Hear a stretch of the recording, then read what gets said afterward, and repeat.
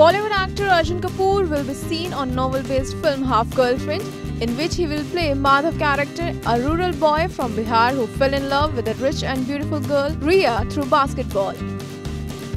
Arjun spoke about his Bihari character who can't speak English properly. That in India people judge you on the basis of your English, not just as a human being. So that's why he tried to play the role as genuinely as possible.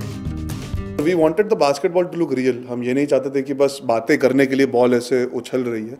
We wanted the basketball to look real तो उस वजह से बाकायदा America से NBA से लोग आए हैं, जिन्होंने हमें ट्रेन किया। मेरे साथ ऑलमोस्ट ढाई महीने बिताए। जैसे ही कियन का लगी, उसके बाद मैंने प्रेपरेशन शुरू कर दी थी। और साथ में एक बिहारी लहजा है किरदार का। जो मैं ये मानता हूँ कि मैं नहीं चाहता था कि वो कैरिकेचरिश हो ऐसे नहीं लगना चाहिए कि हम मज़ाक उड़ा रहे हैं बिकॉज़ वो एक बहुत अहम हिस्सा है पूरी पिक्चर में वो एक तरीके से बात करता है लड़का। उसकी अंग्रेज़ी थोड़ी पैदल है हालाँकि समझता है जानता है लेकिन बोलने में घबराता है बिकॉज़ बिहार से है। तो हमेशा बताया गया कि तुम बिहार से हो तो तुम्हारी अंग्रेज़ी थोड़ी पैदल है तो क्या कर पाओगे तुम ज़िंदगी में? और उसका मानना यही है कि ज़बान में अगर वो अंग्रेज़ी नहीं बोल सकता इसका मतलब ये थोड़ी ना कि वो अक्लमंद नहीं है। बट हिंदुस्तान में एक बहुत बड़ी समस्या है कि सब लोग आपको अंग्रेज़ी में जज करते हैं।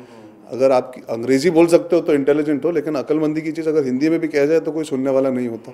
Um, तो बहुत इंटरेस्टिंग समस्या है जो आई थिंक सब रिलेट कर पाएँगे। उस वजह से I wanted to play the character as as genuinely as possible ना कि सर्फेस लेवल पे टिपिकली uh, भोजपुरी एक्सेंट पकड़ के बोल देना। Right. तो मैं चाहता था कि वो हिंदी में बिहारी लहजा आए ना तो मज़ा आएगा। Half Girlfriend, also starring Shraddha Kapoor, is slated to release next year. INS report.